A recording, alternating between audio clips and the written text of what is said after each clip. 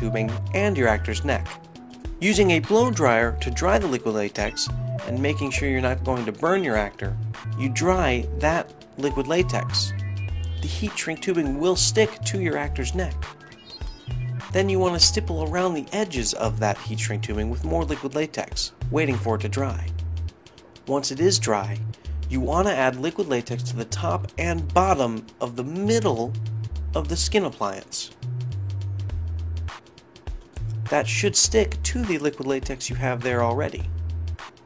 Then you want to slowly add more liquid latex from the inside out of the appliance. Once you have the appliance secured, you want to stipple on more liquid latex around the edges. Now, you want to do about three layers of liquid latex, stippling far away from the appliance, blending it in to the actor's skin using a torn edge of a sponge. Then you add the makeup to blend the entire appliance into the actor's skin.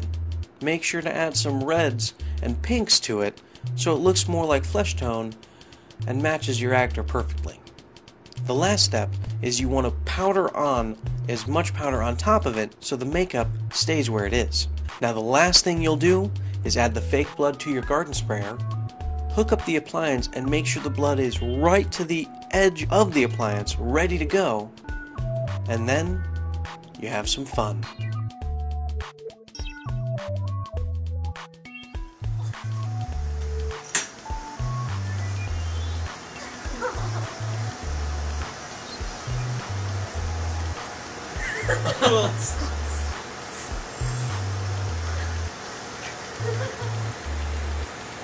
it's still going. You're still Hey, leaking. going.